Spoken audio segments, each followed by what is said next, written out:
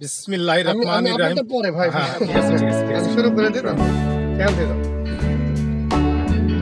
প্রিয় দর্শক আসসালামু আলাইকুম। সকলকে স্বাগত জানাচ্ছি মিস্টার প্রবলেম টিভির আজকের আয়োজনে। দেখতে পাচ্ছেন আমার পেছনে সব আমাদের ছোট ভাই ব্রাদার তারা মিস্টার প্রবলেমকে ভালোবাসে মিস্টার প্রবলেম টেলিভিশনকে ভালোবাসে। ভালোবাসে আমাকে আমার গ্রামকে আমাদের জন্মস্থানকে। ভালোবাসার এই মানুষগুলিকে সাথে নিয়ে আজ আপনাদের মাঝে উপস্থাপন করব পদ্মাপাড়ের নদী ভাঙনের রামকৃষ্ণপুর ইউনিয়নের একটি ভাঙনের কবিতা দিয়ে। হ্যাঁ দর্শক আমি আর কথা বাড়াচ্ছি না। আর এই কবিতা পেশ করবে আমাদের এই ভাই স্বঘোষিত কবি স্ব রচিত কবি তার নিজের লেখা কবিতা। কবিতার নাম? পদ্মা ভ্রমণের বাস্তব কাহিনী সর্বনাশ পদ্মা। ভাঙনের বাস্তব কাহিনী সর্বনাশা পদ্মা। আর পড়ে শোনাচ্ছে আবৃত্তি করছে আপনি হচ্ছেন দুলাল বিশ্বাস। চলুন দর্শক আর কথা নয় সরাসরি আমাদের ভাইদের সাথে নিয়ে শুনে নিই আজকের কবিতা। Mr. Problem TV. But keep smiling. বিসমিল্লাহির রহমানির রহিম সুধী দর্শক শ্রোতা, আসসালামু আলাইকুম। আমি এই রামকৃষ্ণপুর ইউনিয়নের পদ্মার ভাঙন নিয়ে একটি বাস্তব কাহিনী বলব। কাহিনীটার নাম সর্বনাশী পদ্মা। এই পদ্মার ভাঙনে ভেঙে আমরা কোথায় কীভাবে গিয়েছিলাম? সরকার মহোদয় থেকে রিলিফ এসেছিল, তা আমরা কীভাবে পেয়েছিলাম? বস্তিদের পাশে বাস করতে গিয়ে বস্তিরা আমাদের কি বলল? নূর মোহাম্মদ আমাদের কি হাল করেছিল? চরে গিয়ে আমাদের কর্ম ছিল কি? মা বোনেরা কেন পর্দা ছাড়া হলো? এই রামকৃষ্ণপুর ইউনিয়ন গ্রাম ছিল। তা কীভাবে পাড়ায় পরিণত হলো? বর্ষা মৌসুমে এই চরের মানুষের দুর্ভোগ কি? এই নিয়ে আমি কিছু বলব। আর এই বলার মাঝে যদি আমার কোনো ভুল ত্রুটি হয়, তাহলে আমাকে নিজ গুণে ক্ষমা করবেন। এই রামকৃষ্ণপুর ইউনিয়নে বৃষ্টি মতো ছিল গ্রাম। এখন পঞ্চাশের ঊর্ধ্বে পাড়া। তা কেমন করে হলো পাড়া? এই রামকৃষ্ণপুর ইউনিয়ন পদ্মার ভাঙনে ভেঙে এক সময় হয়েছিল আশি থেকে নব্বই ভাগ মানুষ ভিটা ছাড়া। তাই তো আমরা হয়েছিলাম বাস্তহারা। আত্মীয় স্বজন, তারা তো এখন পর্যন্ত স্বর্ণ ছাড়া। অতি দুঃখে, কষ্টে, কাঁদতে কাঁদতে গরু, ছাগল, বাড়ি, হওয়ার নিয়ে গেলাম মুন্সিগঞ্জ, কাস্টম, পাকড়িয়া। আরও কে কোথায় চলে গেল? আপন মায়ের পেটের ভাই, পাড়া প্রতিবেশী, আত্মীয় স্বজন কে কোথায় চলে গেল দূর দূরান্তে?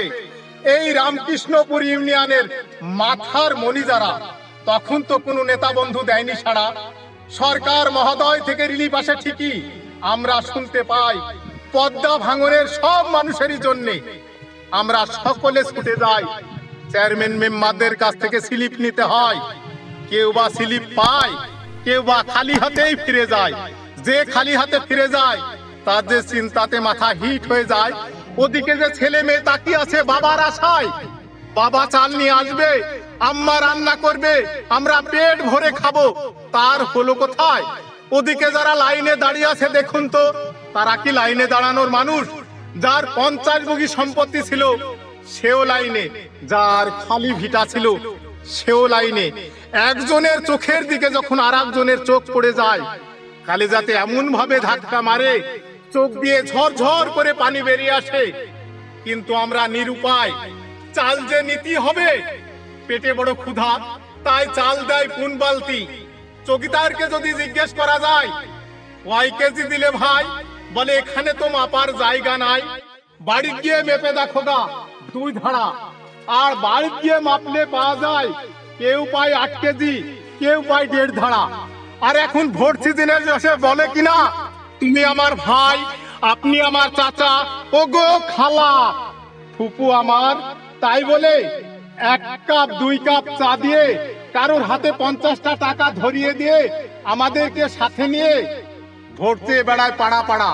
ওদিকে বস্তিদের পাশে বাস করতে গিয়ে বস্তিরা কথায় কথায় বলে কিনা, তোরা তো শালা ভাঙা পাড়া। আর সেই কথার জবাব দিতে গিয়ে মাইন গেল গুলিত মারা। তার স্ত্রী হলো স্বামীহারা। চারটি মেয়ে হয়েছে বাবাহারা। বস্তিরা সব কিছুই বলবে। আমরা কিছু বলতে গেলে কর্কশ ভাষায় বলে কিনা? এই, নিজের দেশে পা বাড়া। আমরা যে তখন তবিল ছাড়া, নূর মোহাম্মদ আমাদেরকে দিয়েছে ছাড়া চিন্ত না সে কিছু, চিনির ছাটি ছাড়া। আমরা চরে গিয়ে কি দিয়ে ঘর করব খাড়া? অতি দুঃখে কষ্টে অভাবে পড়ে। চুরিতে যায় সন কাটতে। কেউ বা এক মুঠ চাল, কেউ বা একটা ভুট্টা রুটি আঁচলে বেঁধে চুরিতে যায় সন কাটতে। তখন সীমানা হয় নাই। আমাদের কষ্ট দেখে বিএসএফরা দেয় ছাড়া। কিন্তু আমাদের দেশের কিছু সংখ্যক পাবলিক প্রশাসন নিয়ে গিয়ে টলার দিয়ে দেয় তারা। তখন যে হই আমরা, গ্রাম ছাড়া কি দিয়ে ঘর করব খাড়া? মাটি নাই যে, মাটি নাই যে বালি ছাড়া তখন আমরা বালি করি নাড়াচাড়া। আবাদ হয় না যে, আবাদ হয় না যে, পুঁজি ছাড়া ছুটতে ছুটতে গেলাম ব্যাপারীদের কাছে বাদামের বীজের জন্য। বাদামের বীজ দেবে, টাকা ছাড়া বাদাম উঠলে নেবে, ওজনে বলবে মন, নেবে দশ ধারা। তাই তো আমাদের অধিকাংশ মানুষের কাজ ছিল বাদাম ছিঁড়া। আর তখন থেকে, আর তখন থেকে আমাদের মা বোনেরা হলো পর্দা ছাড়া। তখন তো নয়, কষ্টে ছিলাম। এখন তো আল্লাহ খুব সুখে রেখেছে। এখন কি আল্লাহ আল্লাহ রাসুলের কাজ? যায় না করা? আর এবার বলব আমি পাড়ার ছড়া। না মরে হলো মরার পাড়া। গড় ছিল তখন খাড়া। এক রাতে হয়, হঠাৎ পাড়া। হায়দার কলিমের পাড়া, আলী হোসেন আল- মাইলফির পাড়া, আজিজ ভরসের পাড়া, রশিদ মন্ডলের পাড়া, মাঝি পাড়া, গুরস্থান পাড়া, সদ বিশ্বাসের পাড়া, হাফেজ ফকিরের পাড়া, সুলেমান মাইলফির পাড়া, হাঁ পাড়া, মহাসিন মন্ডলের পাড়া, সলিমের পাড়া আঞ্জুর পাড়া, চল্লিশ পাড়া।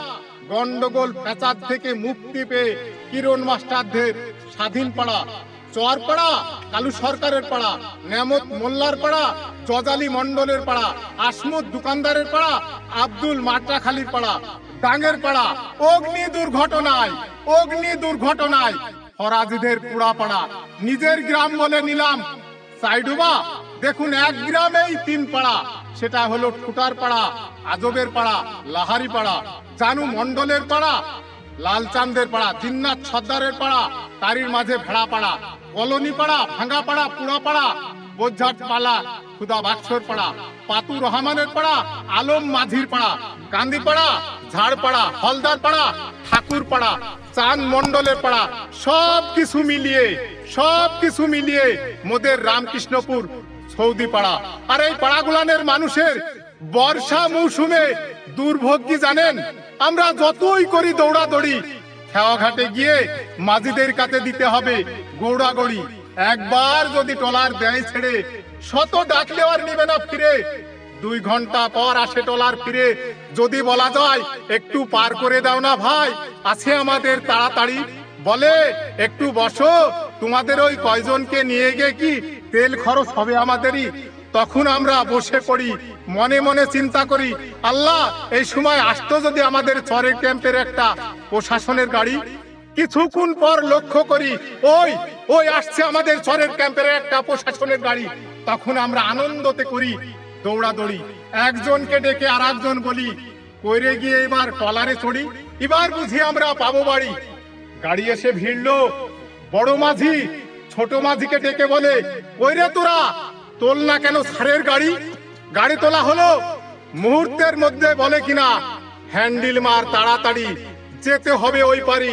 এখানেই আমার কাহিনী আমি শেষ করছি। এবার আমার পরিচয় বলি, আমি মোহাম্মদ দুলাল বিশ্বাস, গ্রাম আহমদনগর চাইডুবা, পোস্ট ইনসাফনগর রামকৃষ্ণপুর, দৌলতপুর, কুষ্টিয়া। সুধী দর্শক শ্রোতা, আপনাদেরকে আবারও আবারও আসসালামু আলাইকুম। Thank you.